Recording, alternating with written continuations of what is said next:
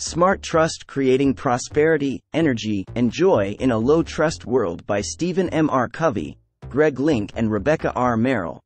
The value of trust.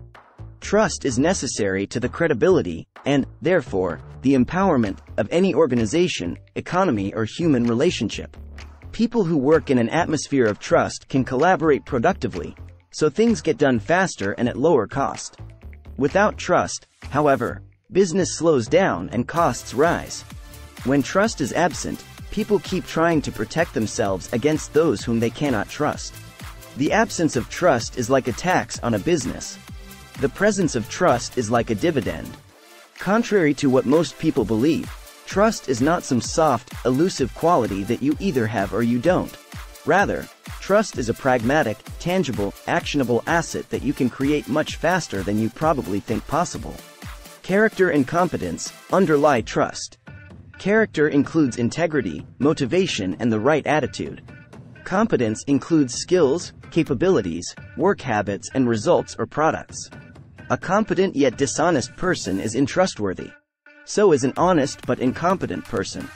Trust can be built, broken, and restored. Those who speak and act in ways that build trust pursue it as a distinct purpose. They are attuned to the five waves of trust, which move outward among people, like the ripples on a pond after a tossed pebble hits the surface. The five waves of trust are 1. Self-trust. To trust or be trusted by others, you must be able to trust yourself. Credibility is the foundation of self-trust. For others to believe in you, you must be able to believe in yourself. Little things matter, for example, very few people keep their New Year's resolutions. They make and break them year after year. Similarly, many adults make promises or threats, if you don't clean up your room, you'll get no dessert, to children and don't follow through. These little breaches of trust compound over time. When people break their commitments to themselves or others, they create distrust. Your personal credibility is based on four core attributes. When trust is high, the dividend you receive is like a performance multiplier, elevating and improving every dimension of your organization and your life. Integrity. This is not merely a synonym for honesty. Integrity calls for saying what you mean, meaning what you say and doing what you commit to do. Honoring your commitments to yourself is fundamental to integrity. Only make commitments to yourself and others that you can and will keep. Be true to your values. Intent. Intent is what you aim to do. Other people may read or misread your intent, taking their cues from your behavior. Your motives and agenda provide the background to your behavior. To improve your intentions, you need a clear, accurate understanding of your motivation. To clarify your motives, use the 5 whys process first developed in the 1970s for the Toyota production system. Ask why you want or don't want something, and then ask why that is your answer. Do this five times to derive a much clearer understanding of your motives. Once you understand your motives, declare them. Making your motives and intent clear builds trust. Capabilities. The elements of the tasks acronym, talents, attitudes, skills, knowledge, and style define capabilities. Understand your capabilities and match them to your job. Michael Jordan was a great basketball player, but a mediocre baseball player. Tiger Woods works continually on improving his golf swing. Results. The way you get results matters as much as the results you get. Even negative results can help you improve your self-understanding and competence, if you study how you got those results. Being responsible for your results, including communicating them to others, gives you perseverance and a winning mindset. 2.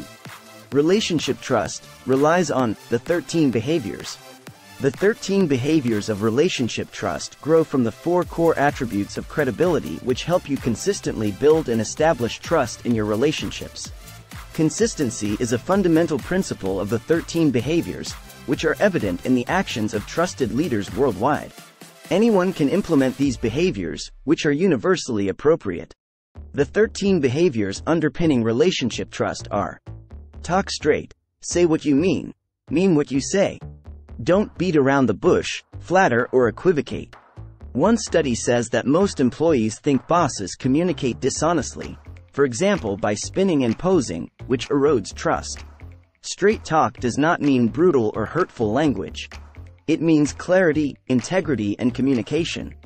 Demonstrate respect, little things matter greatly. For example, knowing and using the names of people who perform menial jobs for you demonstrates respect.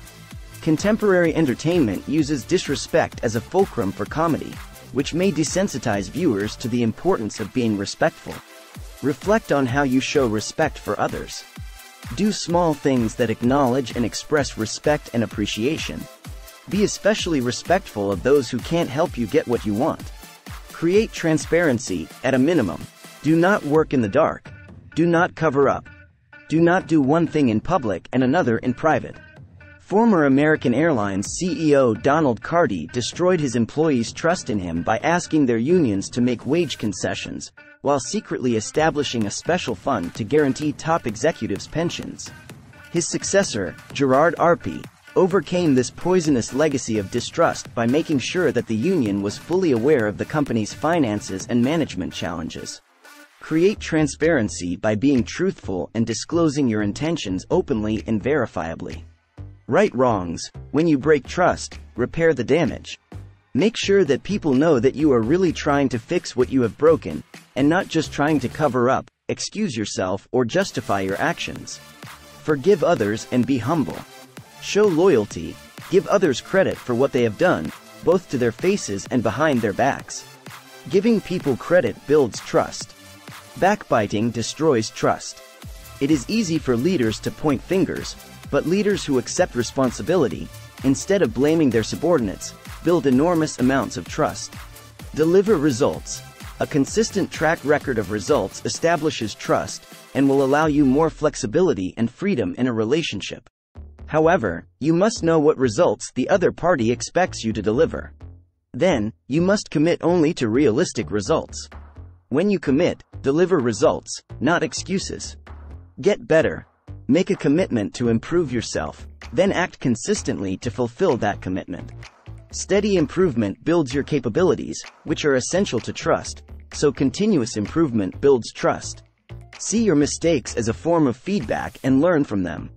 Thank people for criticism and keep building. Always remember that the capabilities you have today may be inadequate tomorrow. Confront reality, have the courage to face hard facts. Ignoring them doesn't change the facts, it only destroys trust. Sometimes, refusing to face and frankly describe reality demonstrates disrespect for the people around you. Show others respect by being honest about tough issues and by bringing out the truths that others may be afraid to voice. Clarify expectations, at home or work. Ambiguous or unclear expectations can destroy trust. One party may believe that he or she is meeting or exceeding anticipated goals, while the other party may disagree. To avoid this, make sure everyone's expectations are crystal clear. At work, write project agreements. After conversations, double check to ensure that everyone has heard and agreed to the same thing. At home, share written objectives with your spouse or children, so everyone can work toward the same goals. Practice accountability, hold yourself and others accountable. Pay attention to what you think and say, and stop any tendency to blame others. At work, hold people accountable. Establish accountability for responsibilities at home. Listen first, when you are talking, you aren't listening. Nor are you listening when you spend time thinking about what you are going to say next. Listening demonstrates respect and provides the knowledge you need to make the best possible decisions. Learn to listen for things that people aren't saying explicitly. Learn to listen to yourself. Keep commitments. The more commitments you make and keep, the more trust you build. Of course, commitments need to be realistic. Unrealistic commitments get broken, which destroys trust. If it becomes clear that you can't honor a commitment, take the initiative as soon as you can and prepare the other party for a renegotiation. Be as strict and consistent about your commitments at home as you are about commitments at work. Extend trust. Build trust in a relationship by trusting the others involved. When others seem not to trust you, ask yourself if you trust them. Trust sows trust in business and at home. Suspicion and micromanagement poison trust. Be prudent in your trust. Trust involves risk, but well managed risk leads to rewards.